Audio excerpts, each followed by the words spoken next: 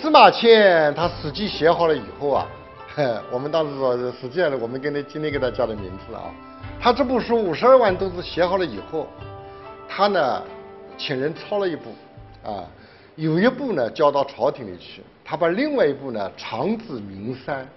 当然，藏至名山并不是说真的山山里挖一个洞啊藏进去，他就是说私下把一部书托给某某人，就是万一我献到朝廷里的书被毁掉了以后，我还有一部书可以在民间流传。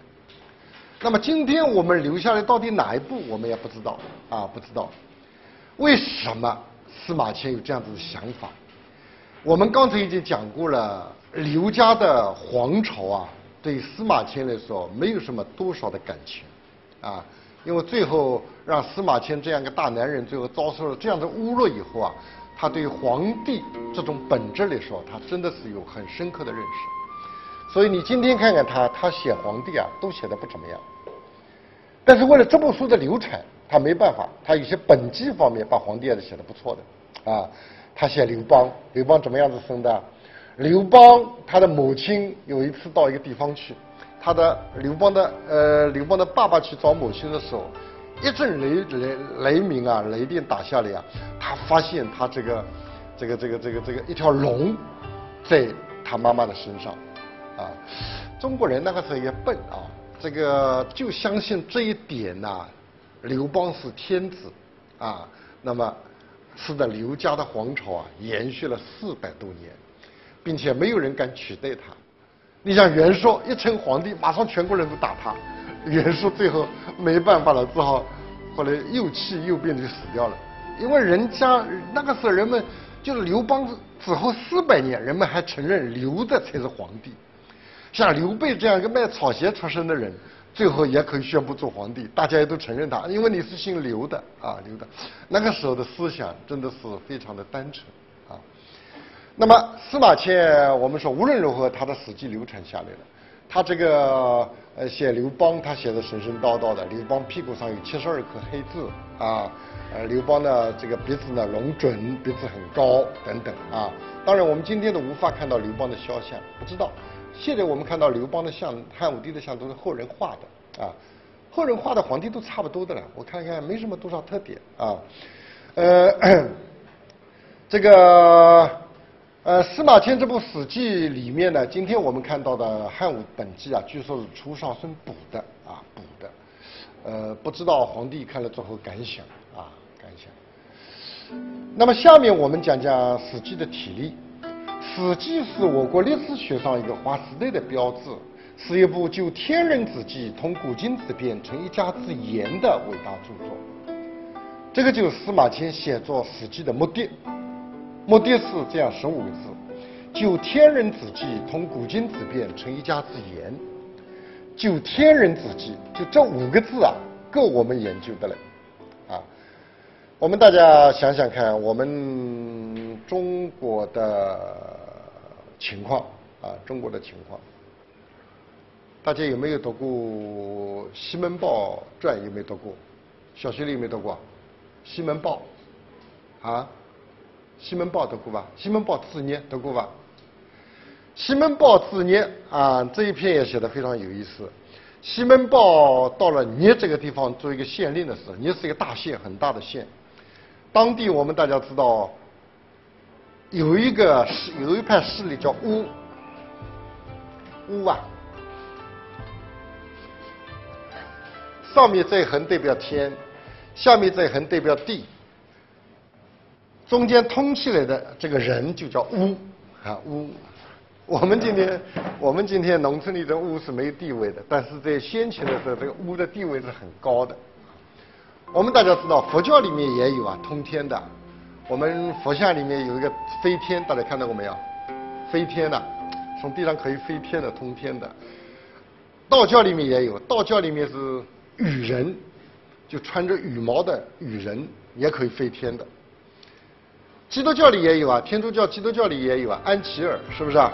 呃，现在小孩子，呃，圣诞节晚上的时候，父母亲都要在鞋子里装点礼物送给他。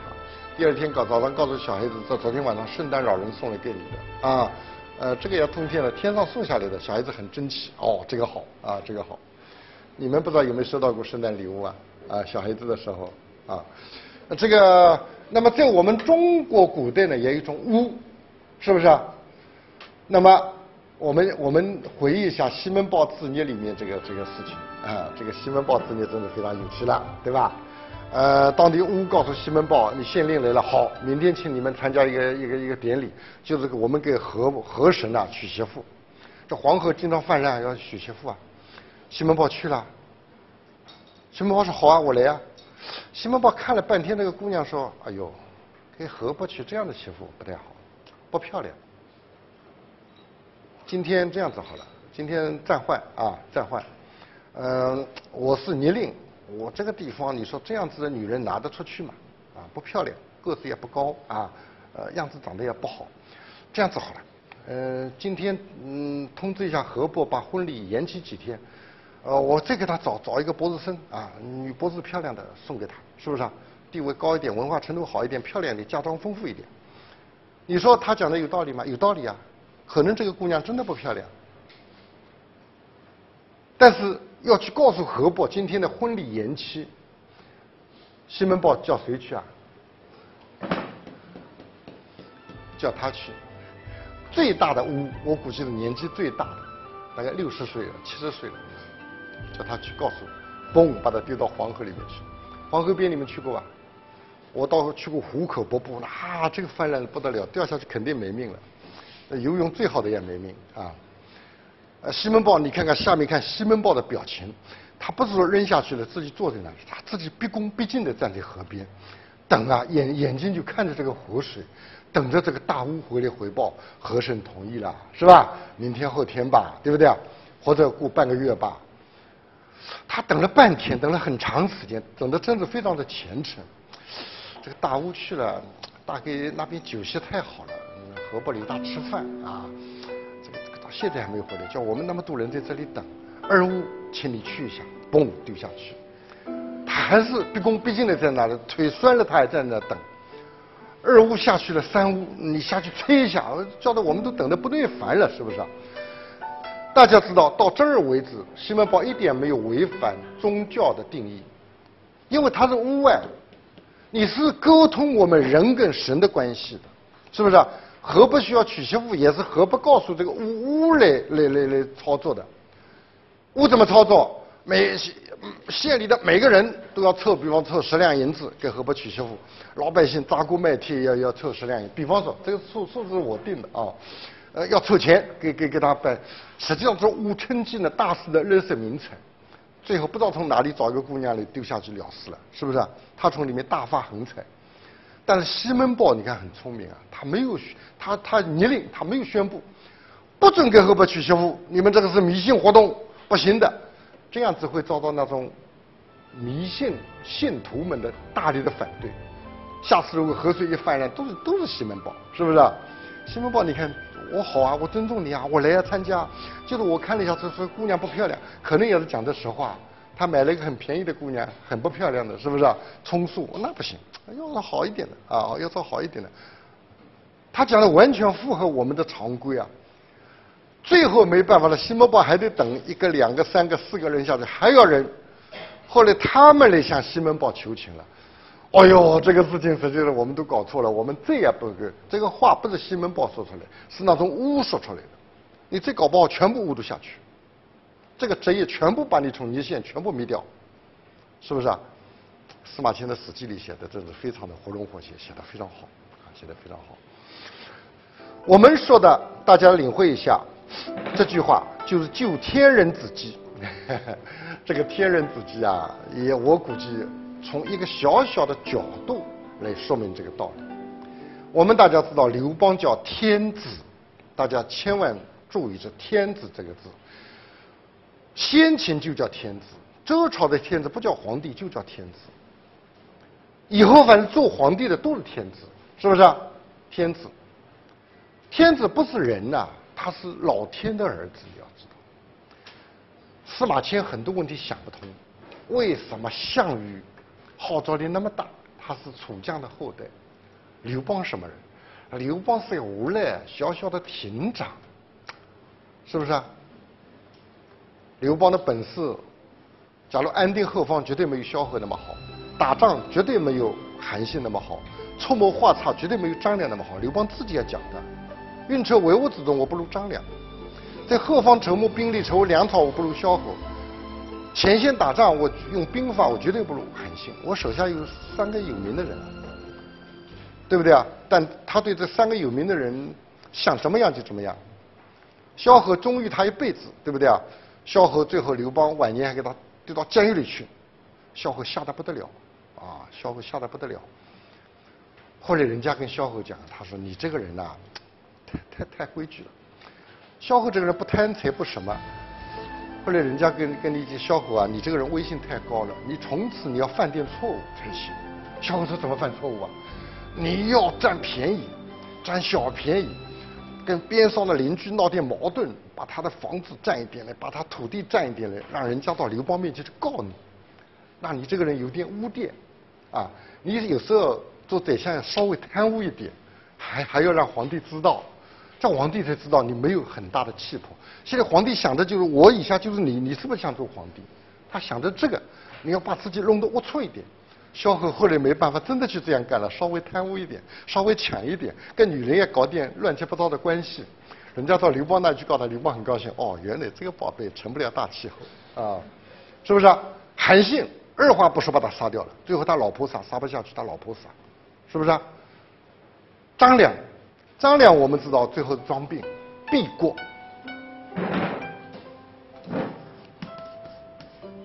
什么叫避过？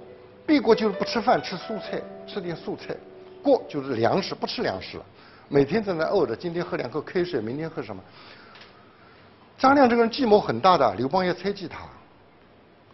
后来吕后看看不行了，因为张良帮过吕后的大忙，吕后没有被废掉，吕后的儿子没有被废掉，这是张良给吕后出的点子。你去把双三四号请来，把四个老头子请来，天天跟着你太子，你太子地位就保住了。你们要把大量的金金钱拿出去，包括你吕家人大量金钱拿出去，把四个老头子刘邦都请不到的人请到太子背后，这四个人帮太子讲话，你太子绝对废不了。后来刘邦有一次召集太子，这不太子小小青年，后面跟了四个老头子须发洁白的，问他谁？他说这个双山四号。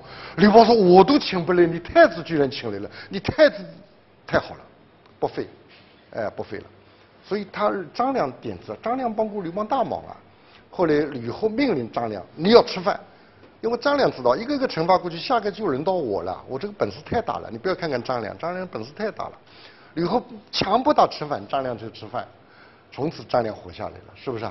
这个这个这个汉初的功臣啊，有时候呢，所以司马迁说我要探究天人之际，啊，就天人很多讲不通的道理，我要把它想通。啊，还要通古今之变，啊，古今之变，我讲了那么多朝代，三王五帝夏商周，秦朝，最后讲到汉朝，古今之变，我要把它搞清楚。最后呢，我成一家之言。司马迁的胸襟是非常宽大的，他的气魄也非常大，啊，气魄非常大，伟大著作。那么这个是司马迁呢？司马迁这部书一共分哪几个部分呢？我们今天看看五个部分的内容，一个是本纪。本纪写天下的最高领导人，不一定是皇帝。你比方说项羽，他就把他列为一个本纪。为什么呢？他觉得秦始皇以后到汉高祖之前，应该是中间没有空白的。那个领导人是西楚霸王项羽。啊，我们等下有时间，我们把项羽本纪讲一讲。啊，表、书、史家、列传一共一百三十篇，五十二万六千五百字。那么本纪。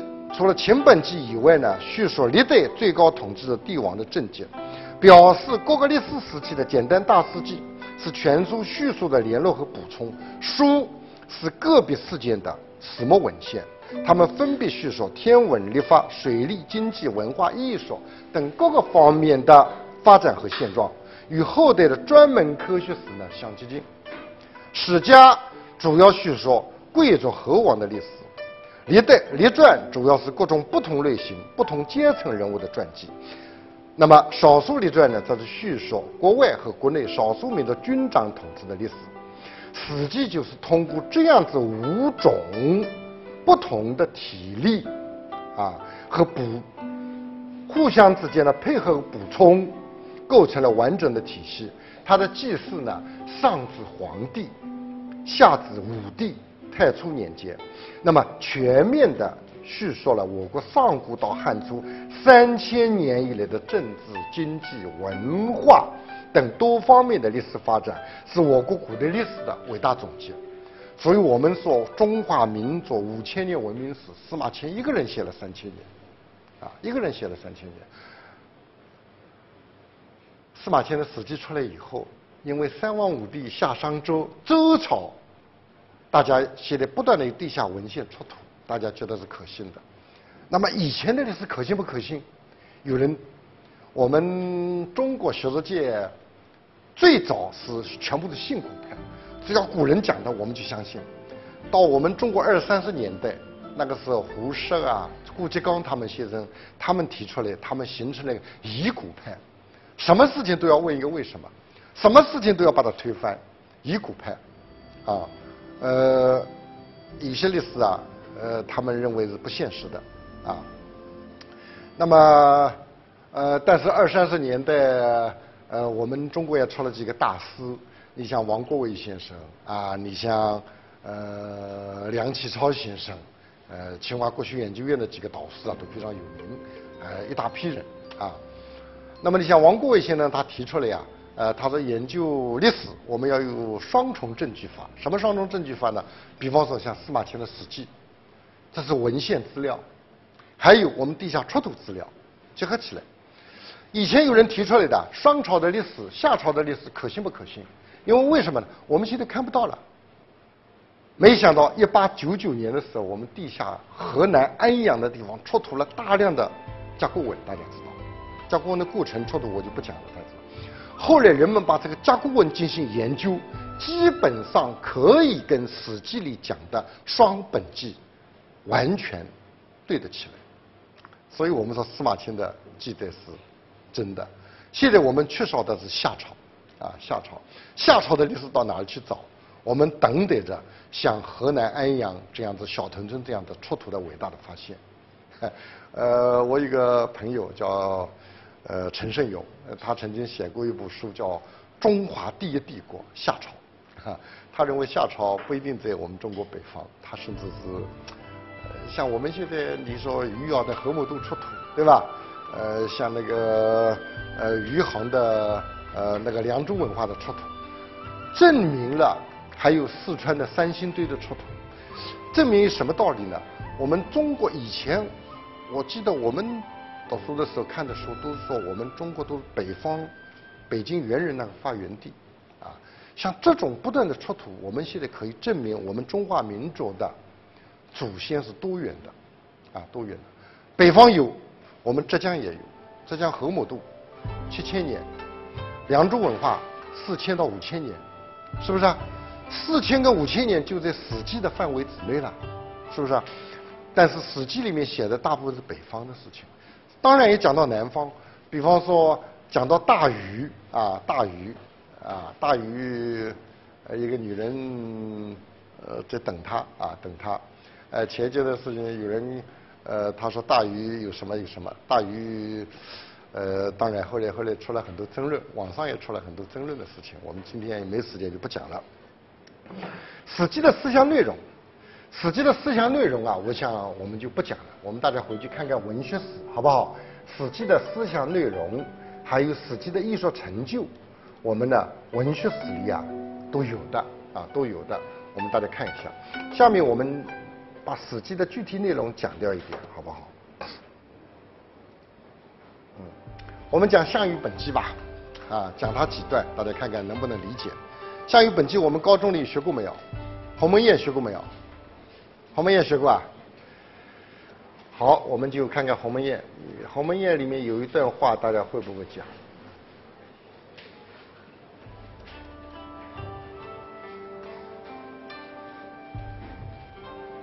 鸿门宴》里面，项羽刘刘刘邦吃饭的时候。怎么做？大家看看，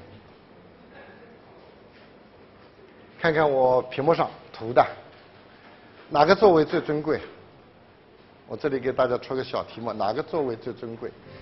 项王项伯东向坐，亚父南向坐。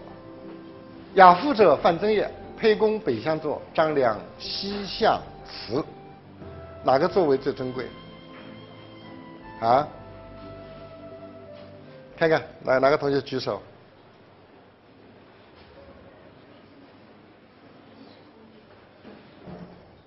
讲得出来吧？你们高中里不是读过吗？那位穿红衣服的男同学能不能讲？亚父为什么？南向坐嘛，也就是说，啊，他坐在北边，朝着南方。坐北朝南，坐下，讲的有一定道理。其他同学有没有观点？有没有有没有想法？这个是我们中原的观点，啊，中原的，所以我们读书啊要探究。探究一种地方的特点，他是楚人啊，楚人。告诉大家，还是项羽跟项伯这个位置最珍贵，珍贵。为什么？楚人的风俗习惯，楚人是南方的啊，楚人是最早发源在河南南阳，我给大家讲过了，后来到呃湖南湖北啊这一带。楚人的习惯跟中原不同，楚人是上东、上赤、上祖，啊上祖，上是什么意思？上是最尊贵，向东的最尊贵，红色的最尊贵，上祖就祖比又要大，啊，楚国的官，中中中原的官又比祖大，又比祖大。